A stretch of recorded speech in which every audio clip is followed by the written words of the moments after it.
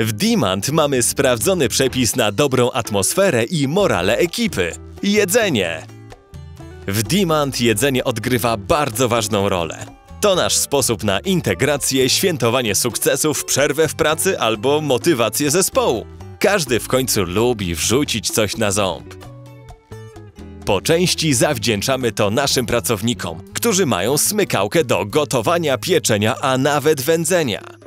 Moje koleżanki, koledzy e, w Demand to pasjonaci. Oprócz e, pasji do pracy wykazują bardzo szerokie zainteresowania w innych obszarach. No i zaobserwowałem, że bardzo popularne e, są kulinaria w naszej firmie. Ja też czasami lubię popsocić trochę w kuchni. Najbardziej uwielbiam ryby.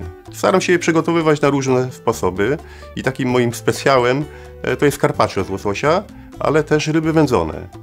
W zasadzie to każde wędzenie e, wygląda inaczej, chociaż ten proces jest podobny, ale efekt e, za każdym razem różny.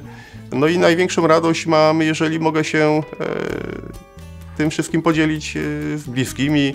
Pracy nie zawsze jest czas, żeby celebrować jedzenie, ale mm, my jesteśmy umówieni w moim dziale, że w każdy piątek spotykamy się na wspólnym śniadaniu. To jest taka tradycja, takie kulinarne zwieńczenie mm, całego tygodnia. Pieczenia nauczyła mnie moja mama. Tak naprawdę od zawsze w moim domu się dużo piekło. Babcia piekła chleby, natomiast moja mama piekła już słodkie rzeczy typu torty, biszkopty, bezy, same słodkości. Moja przygoda z pieczeniem zaczęła się od prostych ciast typu murzynek, mafinki, babka na święta.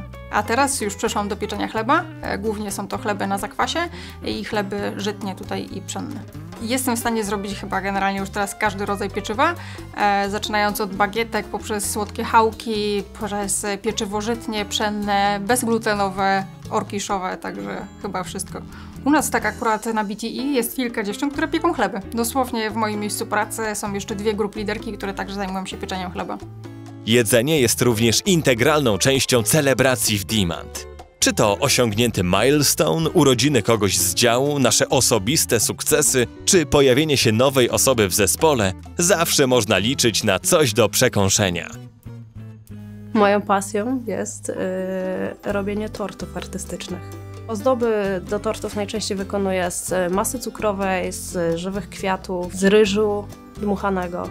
Moje zainteresowanie do tortów yy, gdzieś trzy lata temu zaczęłam się interesować przez yy, filmy i programy kulinarne. Początki moje wyglądały tragicznie, jak to zawsze bywa. Ale z czasem uczyłam się, oglądałam różne filmy, uczyłam się od innych przynoszę czasem torty, częściej babeczki. Łatwiej rozdzielić e, na pracowników. Masz apetyt na więcej? To zapraszamy do Demand. Niektóre przepisy naszych kolegów znajdziecie nawet na naszym blogu.